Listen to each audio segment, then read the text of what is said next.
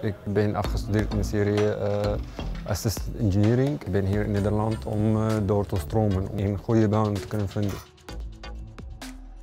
ICT is mijn uh, passie. Als ik een, een foutje heb en als ik het moet fixen, dan word ik gelukkig.